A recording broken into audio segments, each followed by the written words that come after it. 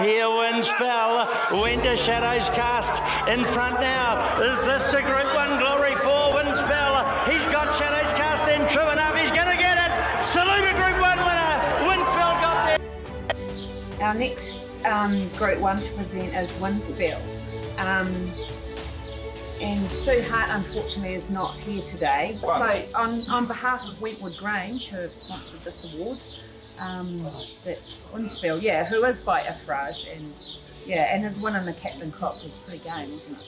Yeah, I know. I know Susan. Uh, she was uh, she supported Iffraaj on two or three occasions, and um, this was a it, Wyndspelle was a very good horse. You know, he, he ran at uh, Group One level as a two-year-old all the way through to uh, being a six-year-old, and I think no one could deny his Group One success in the in the Captain Cook.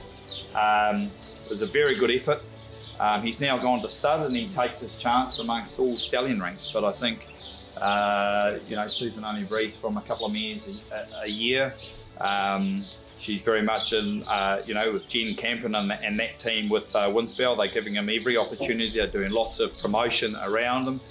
And uh, Iffraaj himself, we, we were very proud to stand him here at uh, and he's starting to prove himself as a as a sire of size, and that was no more just than uh, Coolmore paying a very large sum of money for his first Group 1 winner, Wootton Bassett, off the back of his success in France. So um, it's become a very much an international game now, thoroughbred breeding here in New Zealand, and um, you know I, I, wish them all the very best. At uh, he's gone to Grangewilliams, so um, where Zed is, so hopefully a bit of that magic can run off, rub off on him, and uh, I'm, I'm sure that Susan would like to thank everybody